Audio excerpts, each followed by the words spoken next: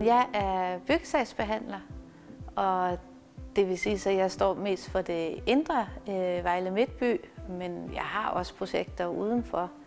Så på den måde, at øh, jeg får indsendt projektet, og så starter jeg faktisk med at scanne lidt øh, projektet arkitektonisk. Hvad har det betydning for byen? Hvad har det betydning for borgeren? Kan man gøre noget der og bruge min kreativitet lidt der? Inden jeg så går ind i selve byggesagsbehandlingen, hvor der selvfølgelig også er en masse tekniske ting indeni, i. Og jeg prøver ligesom på i min byggetilladelse at holde alle de der tråde sammen. Jeg trækker på min faglighed som arkitekt ved hvert projekt, men der er selvfølgelig projekter, der er mere spændende end andre.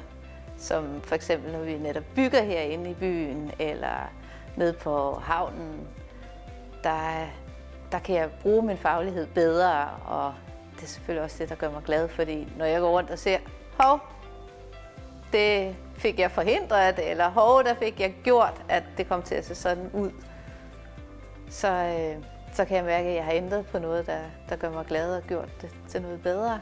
Jeg havde ikke nogen forbehold mod at søge ind ved det offentlige, fordi jeg synes egentlig, det lød spændende. Da jeg boede i Schweiz, der var jeg en periode rådgiver for den evangeliske kirke, hvor jeg var med til at lave, øh, hvor jeg ligesom kom på den anden side af det at være arkitekt, fordi jeg fungerede mere som rådgiveren og sad på den anden side af juryen, når vi havde en arkitektkonkurrence. Og det var egentlig det, jeg kunne mærke, at det var noget, jeg gerne ville vide lidt mere om og lære noget om.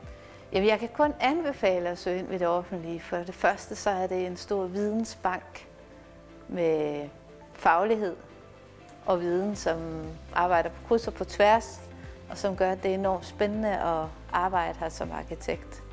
Og man er, kan meget bedre selv finde sin vej herinde, end hvis man blev tildelt opgaver inde på det private.